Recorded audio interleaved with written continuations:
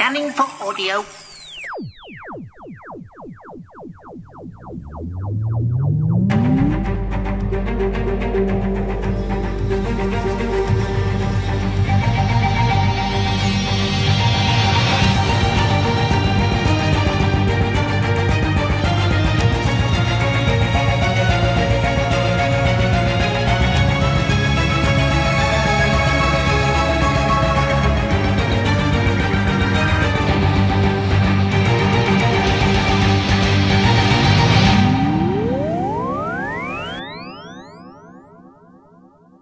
Welcome to a Tin Dog podcast. This time talking about Torchwood monthly range. Yeah, I know. I mean, I've just been listening to Robots. That's so cool, but that's my next review. And this time, it's, well, kind of odd. This is a storyline that basically John Barrowman came up with in an interview in the back end of one of the other uh, episodes hey, why don't we have Captain Jack uh, pregnant and having a child, and him and Ianto having to look after it? That's your basic principles, that's your basic plot, that's it. Now, there are arguments that can be made that sometimes you've just got your high concept story and it's done. But that's it.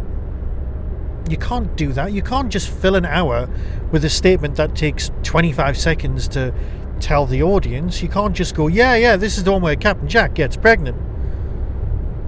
For a start, that raises all sorts of questions. How? More importantly, why? And even more importantly, what happens next? What's the outcome? And luckily, that areas are covered in great depth. And they managed to fulfill a great plot. Not only have we got a brilliant plot going on and some fantastic acting, seriously, if ever you needed, if ever anyone was going to play a Doctor Who character who got pregnant, you really just need Tahara Barrowman. Completely. Nothing else even comes close. Superb.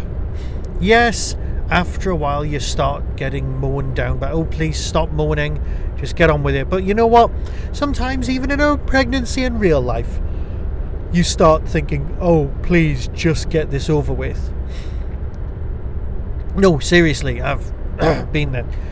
So is that of many people who have been involved in pregnancy in any side of the fence.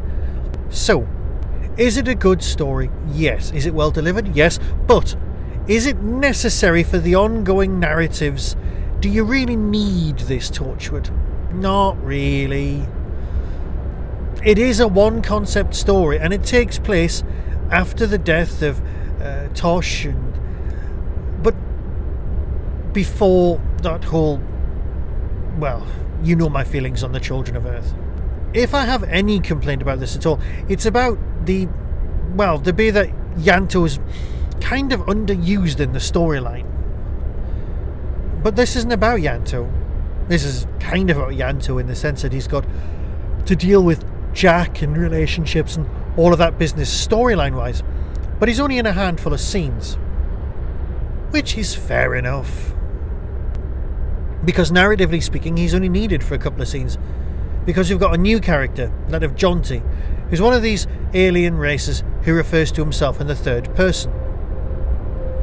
And you kind of accept it for what it is. It's an outsider looking in on the UK culture and kind of passing comment on it. Although one thing is nice in this storyline Unit does turn up. I know, Unit. Those blinds are blurring more and more. I really want a Unit Torchwood crossover at some point. Modern day Unit, modern Torchwood. It's waiting to happen. And you know what the modern series of Torchwood?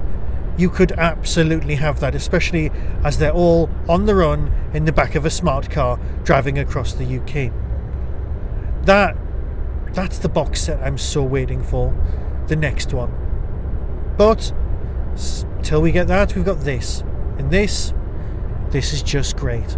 Here's the trailer, decide for yourself, and I'll speak to you very soon, probably about Doctor Who, because that's going to be on TV before we know it.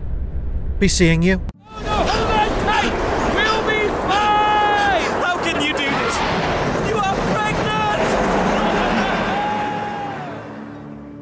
From Big Finish Productions, Torchwood, Expectant. Two of our friends die, and Jack goes off, and I think he's coming to terms with it, but oh no, suddenly he's pregnant. I meant to act like everything is normal. Well, it's not because that's not a normal reaction, is it? Avoidance is one thing, but Jack is up the duff. I swore I'd never get pregnant again. There is nowhere to run. You are protected here. Let me touch you.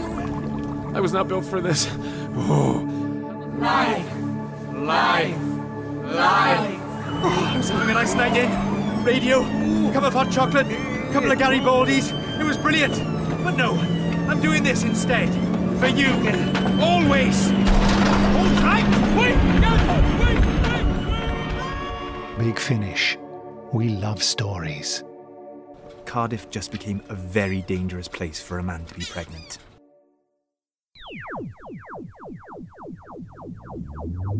That was the Doctor Who Tin Dog podcast, available on iTunes, YouTube, Twitter, RSS, Vimeo, and across the internet. Doctor Who and its associated properties are all copyright and trademark of the BBC. No infringement is intended. Why not become a supporter by visiting patreon.com slash tindog. Contact the show on tin-dog at hotmail.co.uk. The Tin Dog Podcast is a founder member of the Doctor Who Podcast Alliance.